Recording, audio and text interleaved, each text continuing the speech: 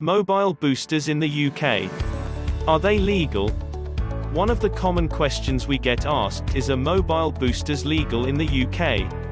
The confusion is because for some time mobile boosters were illegal to install and use in the UK.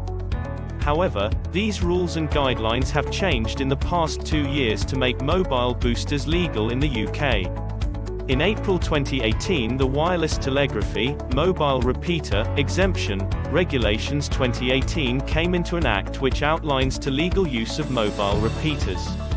The regulations were focused on two areas of installation. 1. Static boosters for indoor applications. 2. Boosters are used within motor vehicles. The Ofcom website outlines the clarification of the legality of these repeaters.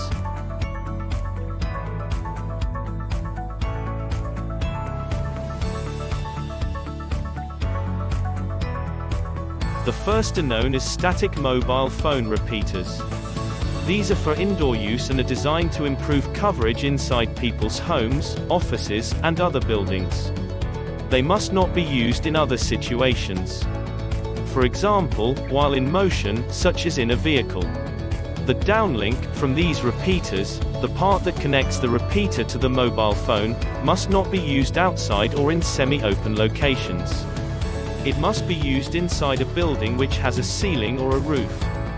The uplink, the part that connects the repeaters to the mobile phone network, can be used either indoors or outdoors.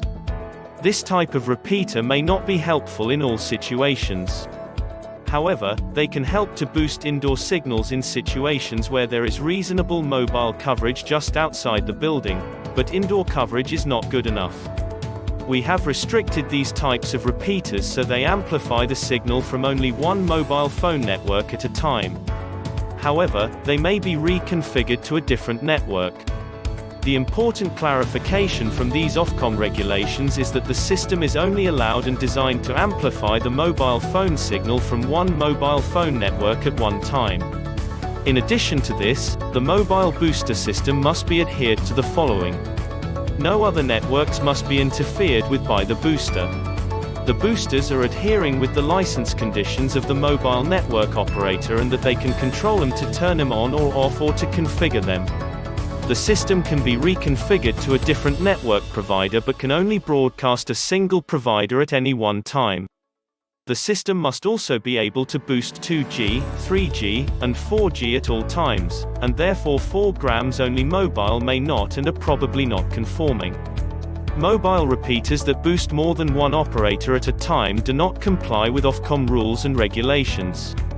Do mobile repeaters work? It is important to remember that mobile repeaters are exactly that, they repeat the signal they receive at its external antenna. They take that signal and then repeat it to other areas of the building. Therefore if you have good mobile coverage external to your building, the installation of an external mobile antenna will receive that signal. Then this follows with the installation of data cabling and internal mobile repeater access points. This results in you will be achieving total mobile coverage within your building. License exempt mobile phone repeaters.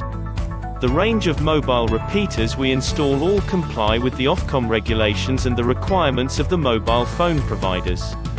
Solutions will vary on the location, size of the building, and coverage requirements. However, in all cases, there is a solution that we can recommend, design, and install for you. The whole solution from the external aerial, through to the internal repeaters are part of the installation.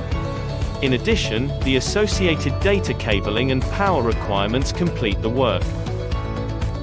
For further assistance or a free survey, please email or call on the details below, and click like and subscribe if you have enjoyed this video.